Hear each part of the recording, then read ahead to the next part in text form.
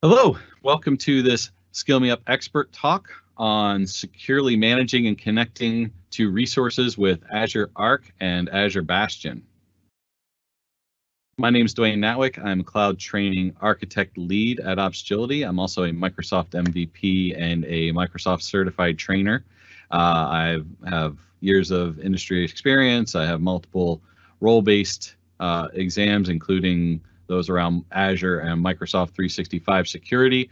Uh, I am active on social media, and my links to follow me and to catch up with anything that I'm uh, working on can be found on the slide.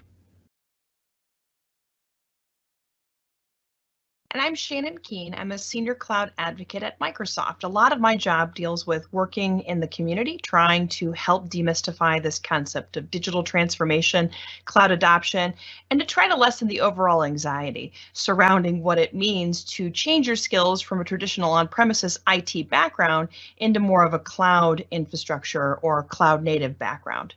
I'm very active on uh, Twitter and LinkedIn. You can also catch me on email if you've got any questions or you want to connect and collaborate or just maybe vet some ideas here and there. I always appreciate that.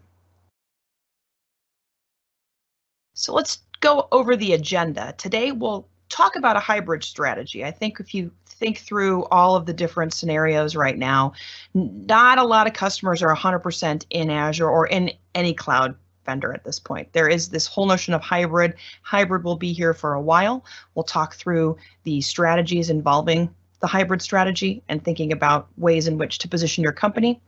Then we'll go through connecting to VMs, right? That's always a, a weird conversation, especially if you don't have any sort of hybrid networking setup. There's ways in which to reduce the attack surface there are two different uh, services we'll talk about at the end here. One is Azure Bastion. That will be the service that helps you connect to your VM securely without needing any sort of site-to-site connectivity.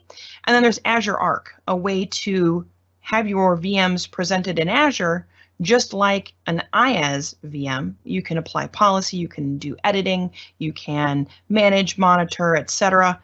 There's a lot of interesting things you can think through as you build out what what it looks like related to a hybrid footprint and leaning on the Azure solutions. So we'll talk a little bit here first about the hybrid strategy. So I think a lot of customers are at various points in embracing a cloud vendor. So if you are in Azure, you know that you've got this idea of Azure policy. You can tag VMs. You can apply Azure policy in a, like a, an initiative definition standpoint or just policy by policy. You don't have that flexibility when it comes to a VM living on premises, right? It's a little harder to think through what that looks like. Um, things have changed in recent times, but I'm trying to think through the whole trajectory of cloud transformation, right? So about, let's say three or four years ago, if you were trying to strategize what made the most sense related to what everything looked like, uh, it was a little harder to see your VMs inside of Azure. You may want to have that single pane of glass, right? A lot of times cloud providers give you the flexibility of seeing your VMs and the entire estate of VMs in a single pane of glass, right? Um, prior to a lot of the newer enhancements inside of Azure, you didn't necessarily have that. And so we, we kind of set across and, and tried to put into play something that would enable a like for like because we know that there's going to be a scenario where you can't always bring everything into Azure, right? Um, and it's going to be hard if you have to go to multiple places to look at what's happening in your environment. Um, you want to have that unified experience, right? It's really hard if you have to go to five different spots to understand how your workloads are performing, what the overall health is like in the environment, things of that sort, right? So it becomes really, really tough. When you think about the challenges with hybrid, you've got complexity, right? So, you know, I want to have health visibility in a single pane of glass to all my existing and future infrastructure and applications, right? You want to also think about compliance with all of the newer features of, of Azure and the ways in which that we, you know, we've even talked about this, right? The idea of the compliance auditing. You want a way to have all of that show up in one spot. You want to be able to consistently manage security across all your infrastructure assets, right? It, it's really hard if you've got to go to, again, five or six different places to get a feel for how everything's performing. Um, you've got this whole idea here too of there, there's some inconsistency potentially, right? You want your on-prem skills to kind of work in the cloud. You want your cloud skills to work on-prem. It's hard. That skilling conversation is always an interesting one to have with with customers. Um, you know, if you think about regulation, you know, the, the DB layer has to remain on on-prem for whatever reason, and you know, there's sensitive data that lives there. Maybe there's a security audit uh, that you know it's designated to always live on-prem. It can't ever show up in the cloud until something changes from a regulatory perspective. Um, you know, you want to be able to, to think about what's the right way to build this out so I can still understand what's happening on-prem and also understand what's happening maybe in the web tier inside of Azure. Um, latency is a big factor as well. So, you know, it's hard to think through what it would be like if you have mission critical applications that are used to low latency. And if you try to stretch that into Azure, maybe you run into some pain points, right? Things are getting better. There's ways to, to solve for that, but not every single application is made the same, unfortunately. So that's when you have to think about a hybrid strategy. And then if you think through some of the legacy components here too, a lot of times there are proprietary apps that were spun up with a developer that has since left the company, right? And nobody has taken the time to unravel what that application looks like. Um, you know, you're able to patch it, you're able to keep it on a VM, but taking it and probably breaking it apart, moving it to more of a cloud native sort of I guess, feature set, it's a little tougher and it's harder to think through what Evergreen would look like. So it makes more sense right now to maybe leave that on-prem. So if you think through reasons for a hybrid strategy, so it's, you know, regulatory and data sovereignty. So you want to make sure that you're within the standards that apply to your company. If you have data sovereignty requirements, you want to make sure that everything lives where it's supposed to live, so that you're not flagged in a future audit. You have to think about low latency and edge workloads. That's a really critical feature here or key component of when you actually choose to move into the cloud. And then there's, you know, the whole idea of the application and data center modernization. That conversation is usually a longer term conversation. The faster, quicker win is the lift and shift kind of version 1.0 of what that strategy looks like. Over time, you want to optimize, you want to modernize. It's going to take a little bit of back and forth, talking with business units, talking with developers, talking with your ops teams, making sure that everybody's on the right page to be able to support it.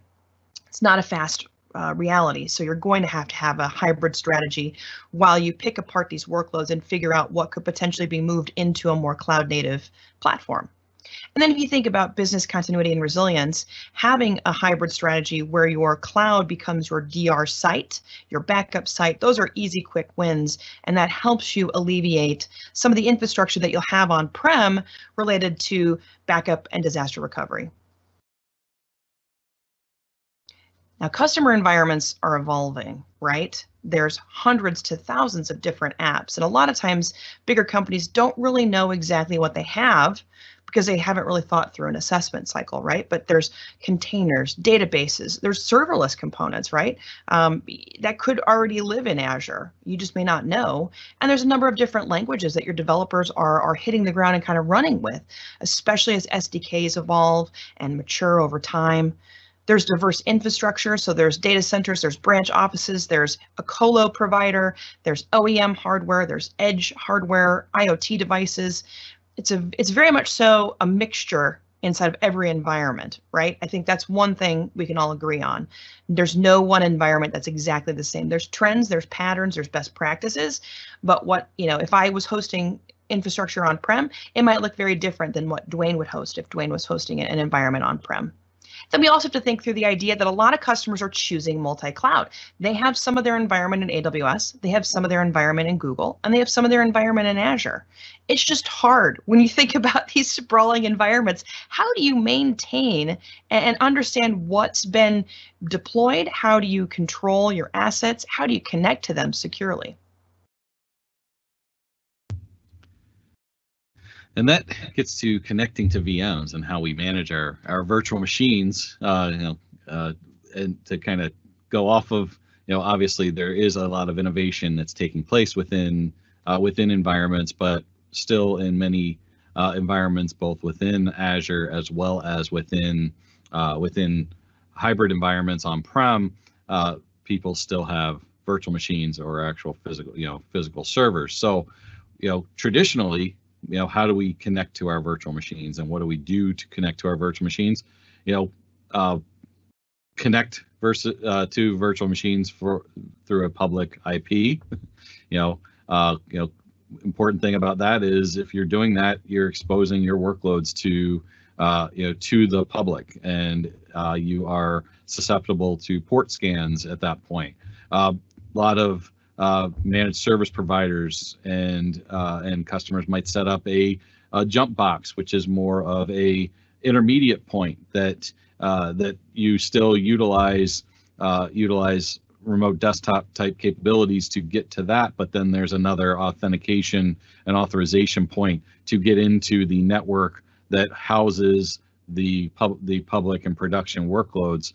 You know, the security is managed on that jump box. You know, you can create some level of session recording and auditing, uh, but uh, but it is still uh, still somewhat exposed to the uh, to the public internet.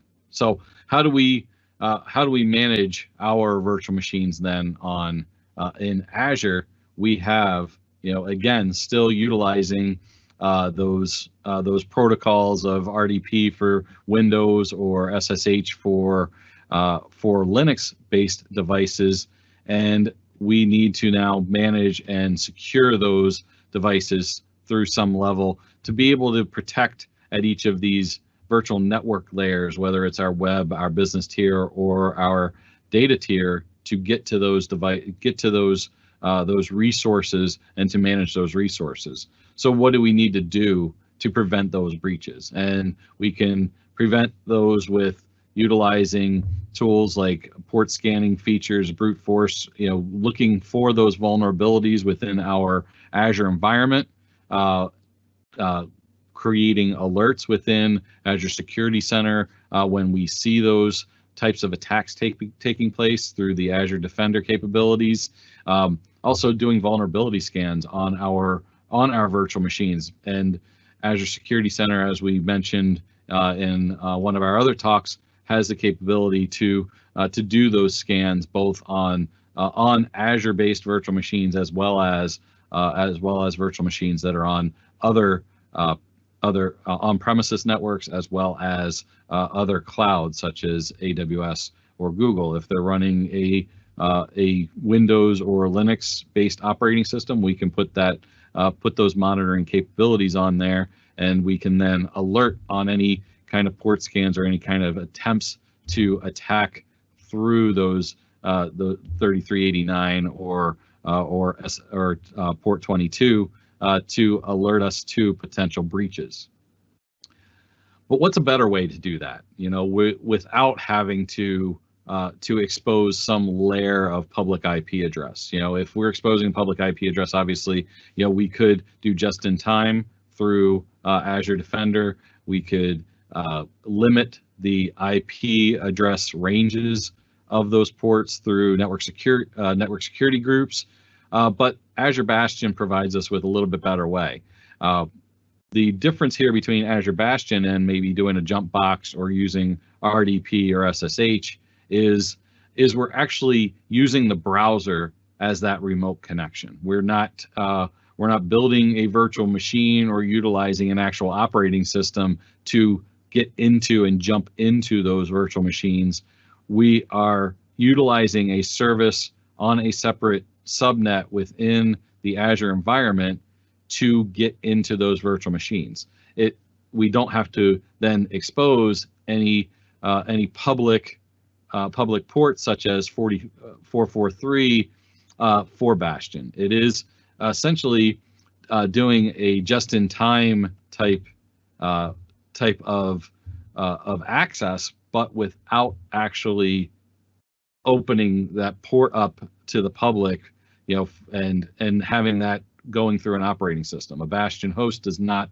actually have an operating system. It's would be just like using a load balancer on the front end of your of your web tier to uh, or traffic manager to get into the virtual machines for your website without having a public IP on those on those virtual machines. And that essentially takes that public that public IP and removes it from that virtual machine. And here's a little bit how uh, how it works kind of as that managed jump box. So it is a jump box. You know, it works very similarly to a jump box, but like I said, it is not an operating system that anybody can attack. Uh, it is on its own uh, subnet, uh, and if you are configuring it, you need to know that the subnet has to be named Azure Bastion subnet. That is a requirement as far as your configuration of the uh, Bastion service. Uh, and when you connect, you're connecting, like I said, right through the browser within the Azure portal to get to your virtual machines. There is no public IP address that needs to be exposed for the uh, for the Azure VMs. You can remove that public IP right off of there, and the Azure Bastion subnet is then connecting through the private IP address because you have authenticated through the portal uh, and gone in to connect uh, through that subnet into your uh, into your target virtual machines, whether it's a Linux box or a Windows box, to do your management. And it acts just like your and provides uh, as far as an experience the same experience that you see when you do as you would do uh, in terms of an RDP session on a Windows box. It gives you that exact, you know, that that remote desktop look where you're in that virtual machine, but it is not exposed to any port scans. You don't have it open uh, to the public. So if somebody is doing a random scan of port 3389, it's not going to see anything open because you are not open in any public IP address. And this, I mentioned just-in-time VM access. So if you're not familiar and haven't uh, caught any of our previous talks where we've discussed just-in-time virtual machine access, this is where where you are being given a uh, giving access to that virtual machine when you need it for a base amount of time, uh, where you re are requesting access and it's essentially opening up that uh, port at, in the network security group for your specific IP address at that you know at that particular time for a time range. And that can be used for rdp access as well. It's used for bastion. So if you are initiate a bastion connection and then you go to the network security group for that particular network interface you can see that there has been a uh, an allow rule that has been created for your ip for uh, you know, to that virtual machine or to that that subnet of that virtual machine for, and it'll be there for a limited basis until you dis until you disconnect or your time runs out, your time range runs out, and then that will revert back and automatically remove that rule so that nothing is left open and uh, and a, secu- a potential security vulnerability be left on your network. So Bastion actually actually gives you a little bit more freedom there uh, because it does provide a little bit a little bit different access uh, with uh, with Azure Bastion and provide and complements it from that standpoint where it's giving both uh, just-in-time access as well as the Bastion direct connection is there as well. So you're and it's giving you an audit uh, auditability there as well in terms of who's accessing and uh, and during what times uh, so that if there is something that takes place, maybe uh, an internal threat, uh, we can go back and we can track what that connect what took place in terms of that connection. Now, how would you ultimately utilize uh, utilize that as a on-premises management capability? And so here we look at you know your privilege access workstation uh, where we now have you know the capability for uh, Azure Bastion to uh, access that virtual, uh, utilize the Azure Bastion service to access the that privileged access workstation and perform those ad, admin tasks uh, on a authenticated uh, authenticated server within our service. So we can use conditional access to verify MFA and compliant devices are being used, and then only give connection to those services based on uh, based on that compliance, uh, and then and then we can get into those services as well. So you can it works very well with uh, with those security services and those policies that you can put in place for uh, for access and I and uh, and that zero trust uh, model of uh, of accessing devices and accessing through only compliant devices. So we make sure that the risk of of a breach or uh, or a compromised device does not uh, does not create a risk to our virtual machines. And just some last points uh, to just summarize what Azure Bastion is. You know, we talked about how it works, but from a standpoint of what Azure Bastion is, is it is a, a fully managed platform service rather than it being an infrastructure service of building a, of a virtual machine. And it provides that seamless, secure access of uh, of Windows RDP or Linux SSH access to our devices, our virtual machines through the portal. So and uh, and we'll show that here in a moment how we can how we how we do that and how that takes place. Uh, it avoids again that public uh, IP address exposure, only using private IP addresses. So therefore, we're not exposed. Uh, we can utilize conditional access and multi-factor authentication, verifying compliant devices to uh, for you know and for privileged access workstation type connections uh, and making sure that everything that's connecting through uh, and utilizing management on Azure Bastion is a the joint is a Azure Active Directory join device, and we can uh, can utilize those conditional access capabilities to restrict access to only privileged access workstation type devices that are compliant. Uh, one one caveat here is it does not currently support smart card use uh, if we're utilizing that for our our authentication uh, techniques uh, for uh, for zero trust you know verification.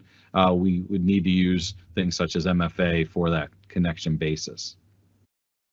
I don't know, Shannon, do we want to go in and show Azure Bastion here quick? Bef oh, you're on mute.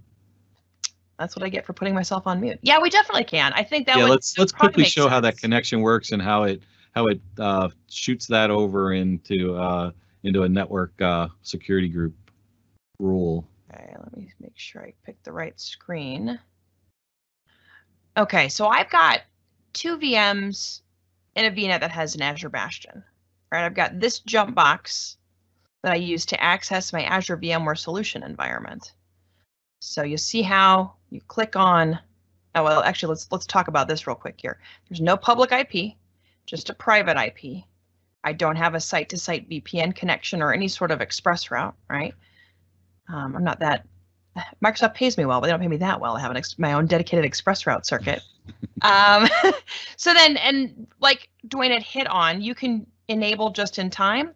I tried to enable this earlier, and I got some errors that I have to go and figure out. We have a lot of policies that are pushed on our internal subscription, so I suspect it's something that might be conflicting with one of the policies that already existed. So just know that I wasn't able to do it in time for it, but whatever VM you want to enable it, it's as simple as clicking on this and clicking on enable just in time, which is so easy to me. I feel like we've made Azure a lot more easier than it's been in previous times here. So we'll click on user, use Azure Bastion. And in theory, this loads. We've had I've had some issues this week trying to load things. There we go. I grab the password down here. Pretty secure password that I don't normally use, so I can never remember it. Yeah, and the one thing you can see is the admin, admin password and admin username is the same you would use if you were just if you were using a remote desktop connection. Correct. Uh, but it's just doing it in the portal. Correct. And if you're using a domain username, something that's tied to your Active Directory domain, it would just be your your username at whatever domain you're a part of. So my own home domain is shakeen.net. Uh, my that was a nickname from high school, so I just kept it as one of my domains over the years. And if you ever see me log in, and you might see it, you might see that I've got like a username that's Inception. That's one of my uh, higher level administrator passwords that I, I use for some of the stuff I do within my demos, where I'm trying to showcase what it's like when you set up hybrid environments to talk to Azure. Um, this is AVS, right? I won't log into here because I don't think that's super relevant. But without having some sort of jump box in the VNet that you deploy Azure VMware solution, you won't be able to access the actual environment itself because it's kind of like VMware as a service. It's a little PaaS-esque, even though it's really it's kind of in between IaaS and PaaS, I would think. But yeah, so then that way I'm accessing my vSphere environment through the Azure Bastion into the jump host, right? I also have, I'll go back here. I also have a Ubuntu VM, same thing. You can you can also use just in time here as well. Now I don't have I didn't do any of this. I probably should have because I feel like the SSH private key, having it come from Azure Key Vault, super cool stuff. Didn't have enough time, but just know there's a lot of flexibility here dependent upon your security posture. Because you know Azure Bastion in and of itself is very secure, but you can think about strengthening that even further with just in time or an SSH private key coming from Azure Key Vault.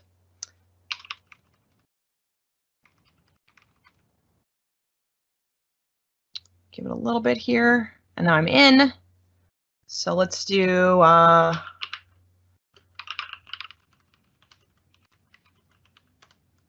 I'm installing Samba on the server here. If we flip back to the portal, we go back to the VM, again, no public IP, there's no site-to-site -site connectivity established, there's no express route circuit, right? But the big piece here is I'm accessing it all over the, uh, through port 443 via the portal.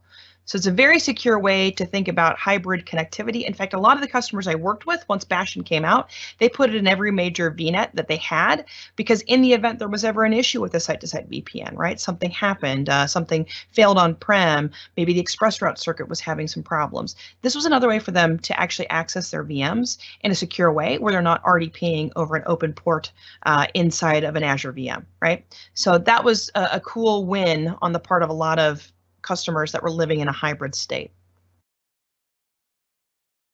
So I think what I'll do here is I'll stop sharing, Dwayne, and we can go back to the uh, the presentation. presentation. Yeah.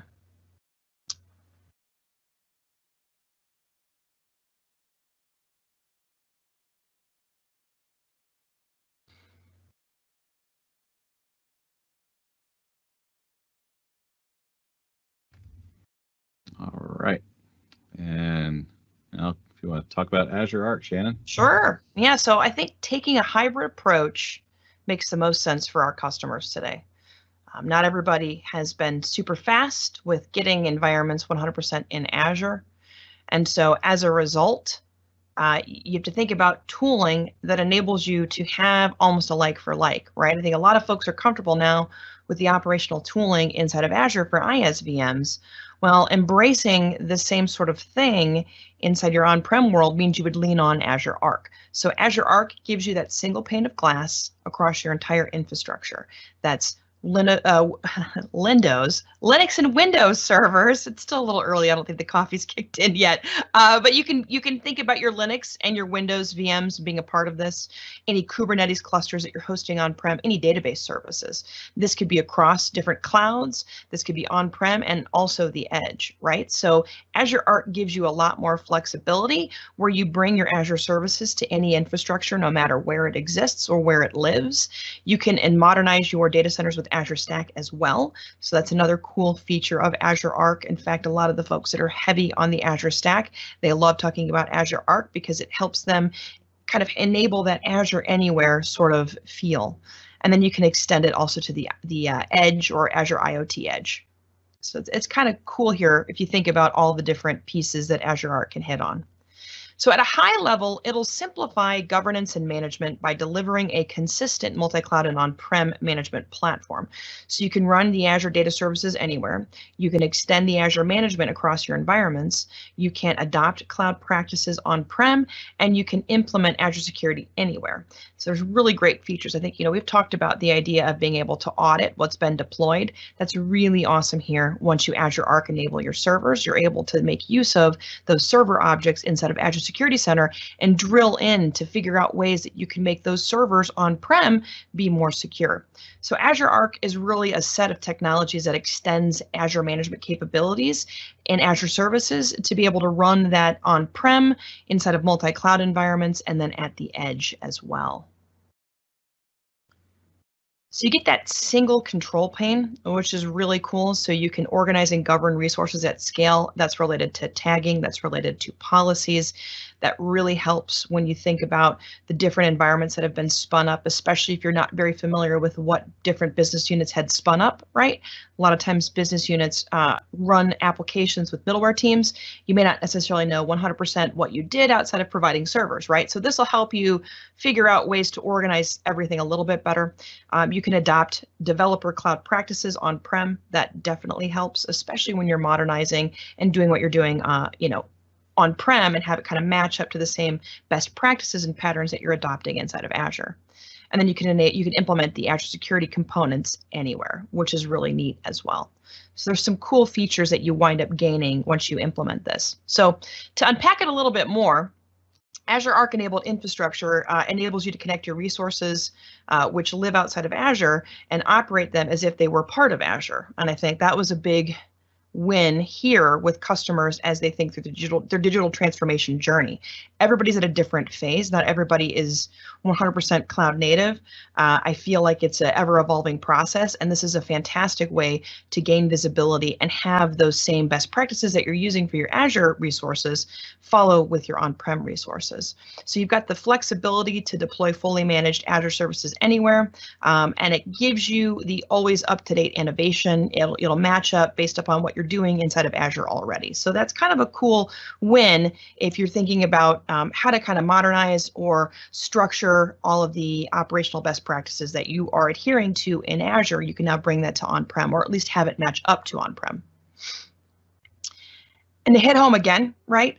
This is a slide we talked about earlier, but you can see that with the ever evolving complex environments, having Azure Arc as kind of the umbrella over the top really helps you gain that single pane of glass as you're deploying your hundreds and thousands of apps across a number of different environments. You've got a number of different languages that you're building uh, applications off of, the diverse infrastructure, and you've got multi-cloud as well. Uh, I've heard of customers who really like Azure Arc because they didn't really have great visibility when they were thinking about structuring what it made you know, what made sense in terms of multi-cloud universe, right? They had VMs in AWS. They didn't really have a lot of great visibility. They had VMs on-prem, and they were starting to build out VMs in Azure. So Azure Arc really helped unify all of those into a single pane of glass.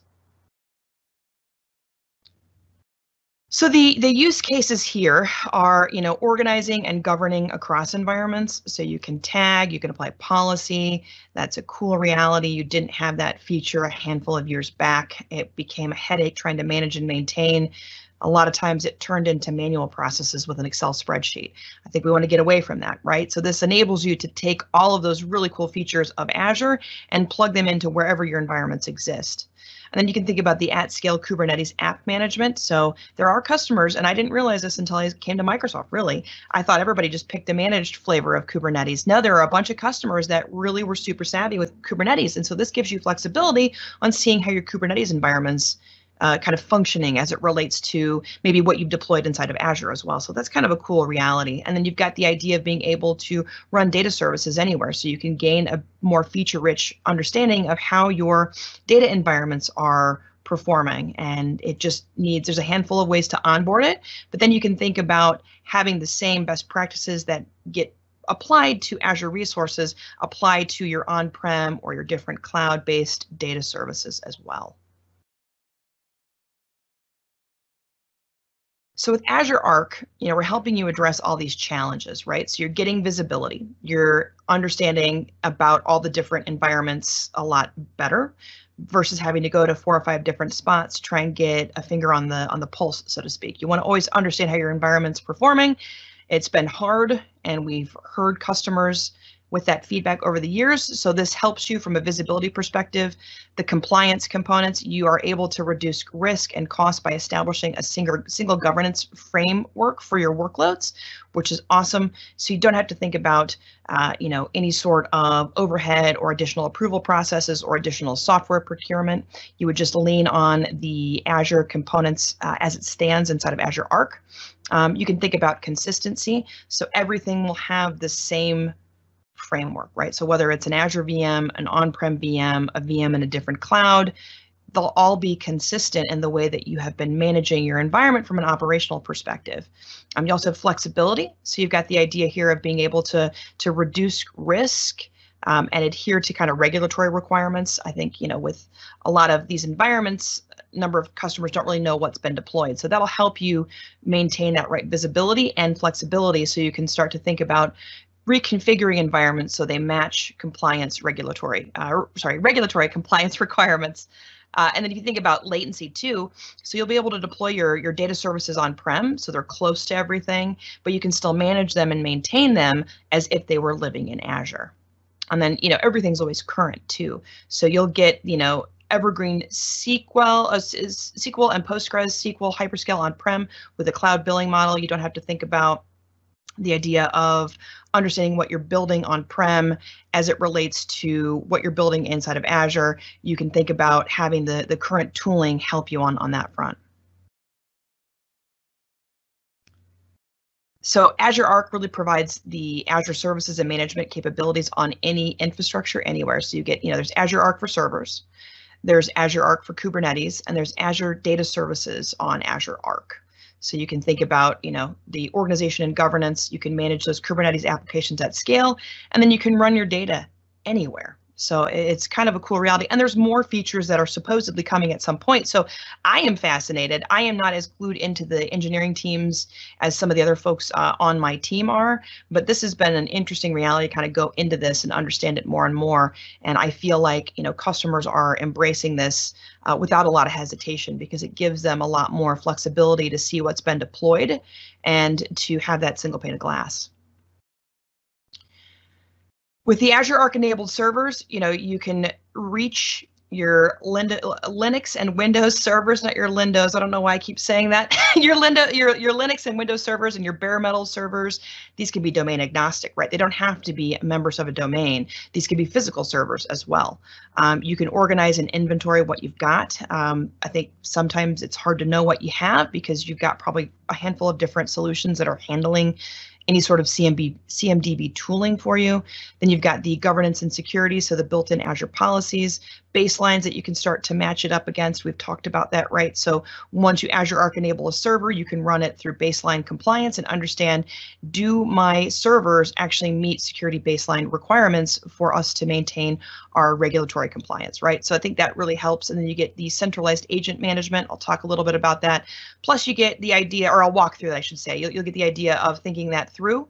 Um, you know, you've got monitoring, security, and update management that you can take part of.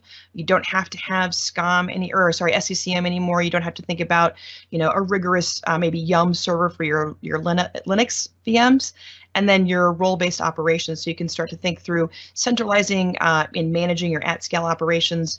Workload owners uh, can manage, you know, based upon their access. It's a cooler reality when you think about Azure Arc enabling your servers.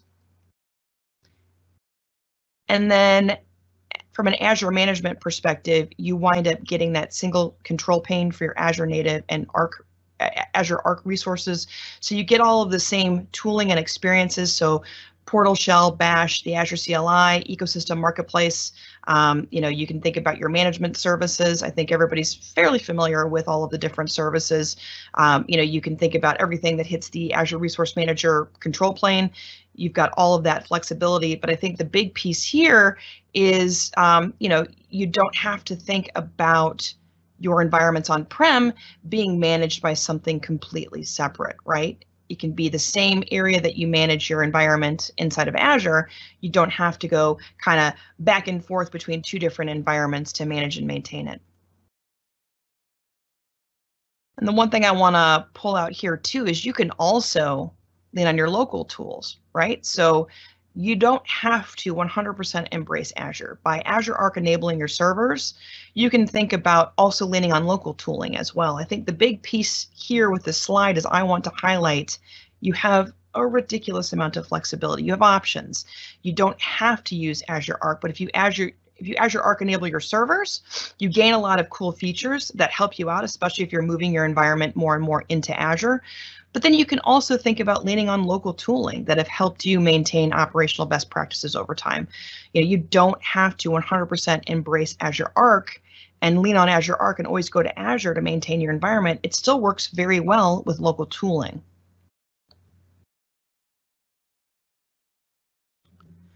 So Azure Arc enabled servers allows you, as we've talked about, to manage those different servers that don't live inside of Azure, managing them as if they were in Azure. So, you know, you get this experience with your hybrid machines hosted outside of Azure. You use the machine connected agent that needs to be installed on each machine that you plan on connecting with Azure. Um, this agent doesn't deliver any other functionality and it doesn't replace the log analytics agent, right? So, you know, there's always a recommendation of placing a log analytics agent on your VMs as well. That helps you from a centralized perspective of logging and understanding how monitoring, eh, you know, you kind of monitor your environment that way. Um, you know, if you think about the idea of putting a log analytics agent on there, then it helps you a little bit more related to Azure Security Center as well. So, you know, if you look at this, um, you have got the idea here of all of the management services that you're used to. So monitoring, update, backup, security center, and more. And then you've got, you know, the machine connected agent. That's really what links you into all of this. And that helps you be able to handle your environment as if those VMs were living inside of Azure uh, as it stands. So it's kind of a, a, cool reality in the sense that you don't have to do too much outside of installing the connected agent and then installing the log analytics agent because I feel like those work very much so side by side. And that's what enables you to reach that achievement unlocked section surrounding you know, the idea that you're able to, to bring about Azure to your on-prem VMs.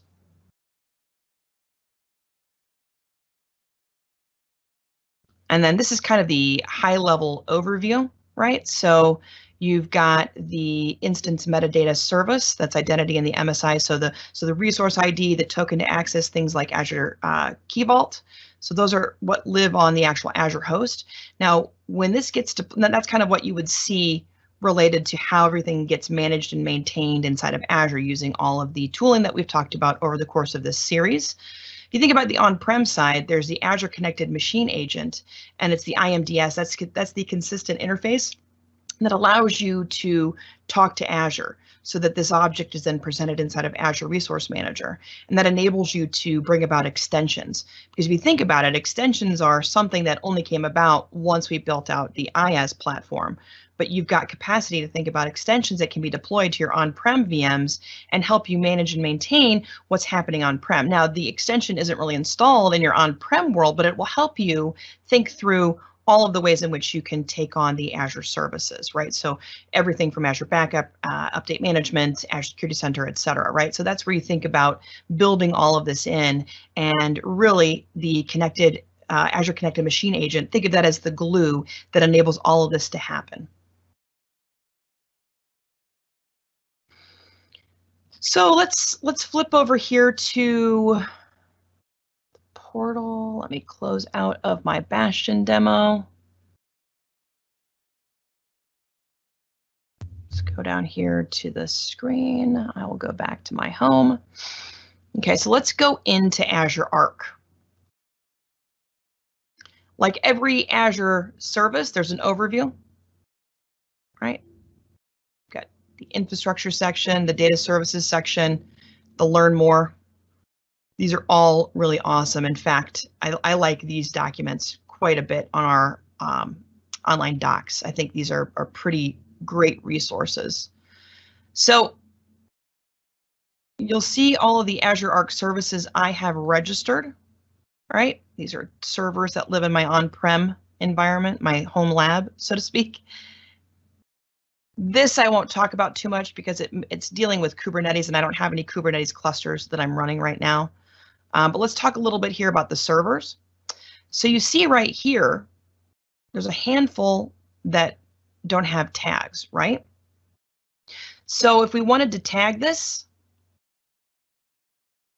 we could go down to the tags, add the data center tag. And my environment at home is shakeen.net, so I just keep Shakeen and a lot of my uh, references to my on-prem infrastructure. Hit apply. Let me get back out of here. I don't, it takes a little bit of time here. I'll try and give it a couple more seconds here, but pretty soon that tag will show up. That might help you from a billing perspective. That might help you from the ability to schedule any sort of patches. If you take on Azure Update Management, you could think about every tag that has Shakeen goes through a patch cycle, right? Or any patch that has production uh, that you want to push to your production machines, you could have it apply on a tag basis inside of Azure Update Management, which is kind of cool. Let's see if that was enough time. No, maybe I can come back to it. Oh, there it is. So now it shows up there. And that, that shows you, now that tag doesn't exist on-prem, it just exists in the metadata surrounding the server object after I've Azure Arc enabled it on my um, VM on-prem. So if you think about kind of onboarding, so let's go through the onboarding process. So this is the idea here, you know, make sure you identify and connect a server. You want to make sure that this server, you know, has access to port 443. Um, these are the outbound URLs. I don't worry about this as much for me because I'm mostly doing a lot of demos. But if you have a more restrictive environment, this is a great link to go and take a look at. Um, you know, you want to make sure you've got local administrator per permission on the VM that you're trying to onboard. So we'll tie this to a different subscription. We'll tie this to this resource group. The operating system is Windows. I don't have a proxy URL, but if you did, like if you had a more restrictive IP-based communication pattern into cloud, this is where you'd be placing that server proxies URL. And then we can download and run the script, right? This is just for one VM. So if, if you're on that VM, this is the script that you would run. It's as straightforward as downloading it. Let's open the file. And this is what the file is doing. Oops, I had it open. It downloads the package, it runs a handful of commands, and it installs it. But this requires you to log into your server, right? So whatever server you're onboarding, this is a great way to onboarding it. But but what if you want to kind of onboard at scale, right? Let's see, I think it's down, yeah, down here. So this is where you'd add multiple servers. So you'll generate the script, same sort of process related to onboarding. I will set this in the right subscription the right resource group. It, these are all Windows servers. And this is your authentication. So we've talked a little bit about service principals, but they allow you to do specific actions. And this service principal has the Azure Connected Machine onboarding role assigned. So I can lean on this service principal. Now I can add tags if I want to. That's how I started adding tags before, right? I won't necessarily go into it just now. In fact, I think what I'm going to do, well, I will just download and run the script. So this script's a little bit different, right? You're looking for the service principal client ID. This is where you would tie the secret in. I won't show you the script that I use because I does have the secret tied in there, but it's as simple as downloading the script.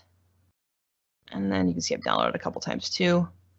And then this one's ever so slightly different, right? So you're adding the service principal client ID the service principal secret, and then you're able to download the package and you don't have to do anything, right? Like literally you can copy and paste this, uh, plug it into a PowerShell prompt and run it and it will just run, right? But you want to make sure that you put the secret in.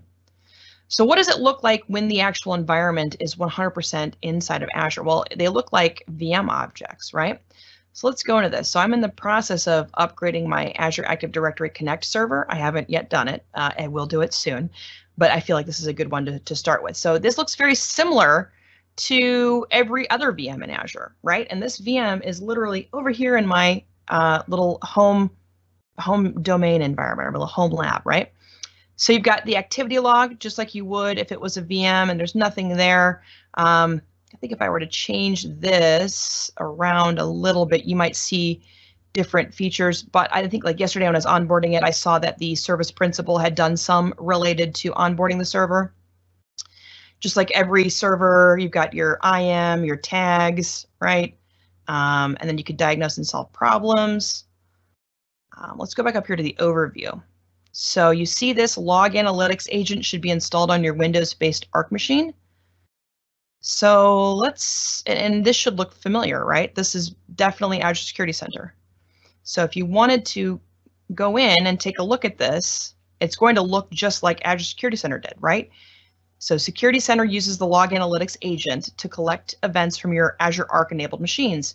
So to de deploy the agent on all Azure Arc machines, follow the remediation steps. And this is the, the quick fix, and this is the manual fix, right? But I think the cool feature of this is I can literally click on that, click on fix, tie it to a workspace. I want to tie it to that one and hit fix one resource. Now, this will take some time and what I will do is I will, um, how are we doing on time? We've got about five minutes here. So I'll let this run and then I'll um, RDP into the machine here and you should see an updated MMA agent and you'll see also the Windows connected agent. Um, so, but let's go back here to home and that's fine because it's deploying. Let's go into Security Center. Let's go into Secure Score. Let's take a look at this. So Log Analytics Agent should be installed on your Windows VM. So you see I've got 21 Azure Arc enabled VMs. A couple of them have the Log Analytics Agent. When I click on this, I'll see all of them, right? And these are VMs. And see now I just had kicked that one off, right? So now it's going to show up as gray because it's in the process of being installed right? And there's some communication patterns happening between on-prem and Azure. But now I can easily enable the log analytics agent on all of these. And so I think maybe what makes sense here, well, actually I won't go through that because I feel like I, I, I will do that, but I mean, it's I just onboarded a bunch of these. And so I feel like there's a lot of cool things I could still do without, you know, doing everything all at once. Um, let me see. So I will bring up this server here. if I can refresh it. No, well, you see the connected agent there. So I think since it's still going through the process of onboarding it, might take a little bit more time before it shows up. But I think the, the cool thing here is, you know, you've got your servers now showing up in Azure Security Center. And depending upon what sort of policies you've applied to your VMs, you'll start to see those VMs get factored into your secure score and that runs every 24 hours. So even if you remediate, things won't be updated until 24 hours from the point in which you remediate. So that's kind of cool. Um, but yeah, that's where I, I, saw this quite a quite a bit yesterday when I was getting everything prepped for today. Um, I noticed that this is a great way. And then what you're able to do from there, let's go back to this VM specifically. So you've got the idea of drilling into Azure Security Center, which we just did, right? You can take a look at the extensions that are deployed. So that's been deployed. Now, granted, that extension doesn't really exist on-prem. Um, it exists as metadata for the most part inside of Azure. Um, you can think about the policies that you want to apply, right? And it's non-compliant because of that log analytics component that's not on the VM just yet. Yeah, so that's showing up. There's no centralized security log management and analysis. There's no, now I've got Azure Defender enabled and it's been pushed by policy to this subscription. So once the log analytics agent is on the VM on-prem, this will change the score and these will both be registered as compliant. Um, and I did enable this or so I thought I've got to go figure this out. But if update management was enabled, um, you'd be able to go in here and take a look at how this server relates to the patches that you have scheduled.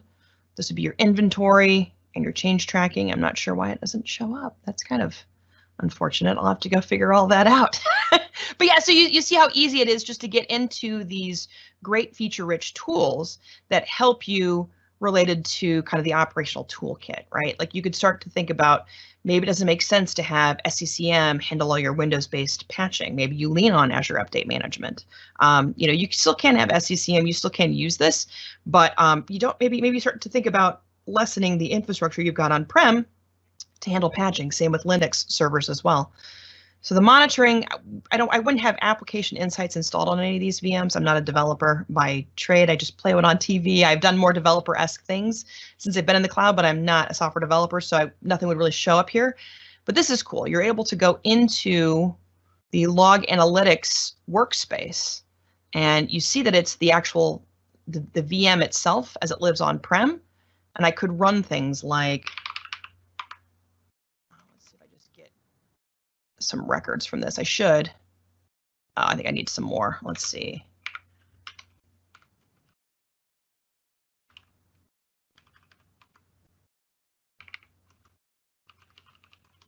see if this does it. I'm going off of memory. Uh, I think, yeah. So the reality would be, let's see, maybe I can pick up some heartbeat queries here.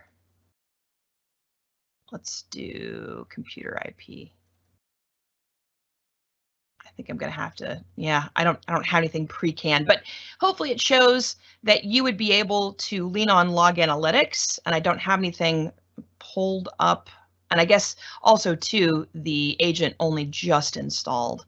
So it takes a little bit of time to have some of this trickle in, but once the agent's installed, you'd be able to go in and take a look at some of these queries. You could look at some of the pre-populated ones that live here, right? Um, that agent on-prem helps you be able to read some of the logs inside of Log Analytics. So let me just go back to the server itself. We should see the monitoring agent now is installed with an install date of today. So now it's got the updated MMA agent, the Microsoft monitoring agent. It's got the Azure connected machine agent. And that's what helps this VM show up as a VM object inside of Azure. So I think that's that's a good overview. And then remember, this will show up as kind of a, an advisor until about 24 hours from now. So that'll still show up, but eventually this will go away and it will be compliant based upon the policies that have been pushed to my subscriptions. It'll help my secure score inside of Azure Security Center, and then I've got more visibility as to how my environment on-prem is performing. So I'll go ahead and stop sharing. Yep. Very good, Shannon.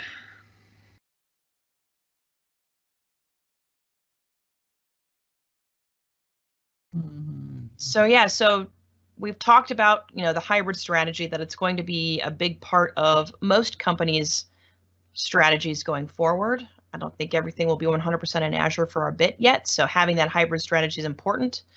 We talked about you know connecting to vms the ways in which you do it how some of them are insecure versus secure and how azure bastion can be installed or provisioned to help and then talking about azure arcs you've got that single pane of glass that helps you understand your security baselines so your on-prem VMs can match up to what you're hopeful for when you have those regulatory audits from your compliance auditors.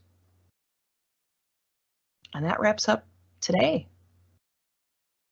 Thanks, Shannon, and thank everybody for uh, watching this Skill Me Up expert talk on uh, Azure Bastion and Azure Arc and how we can securely manage and connect our resources both uh, in a Azure cloud environment as well as a hybrid environment. Uh, feel free to take a look on our uh, website or our YouTube channel for any previous talks that Shannon and I have done, as well as some of our other uh, training, our cloud architects and uh, and special guests. And Shannon and I will be back with another episode in this series, uh, the security series, in a couple weeks. Thank you very much. Thanks, everyone.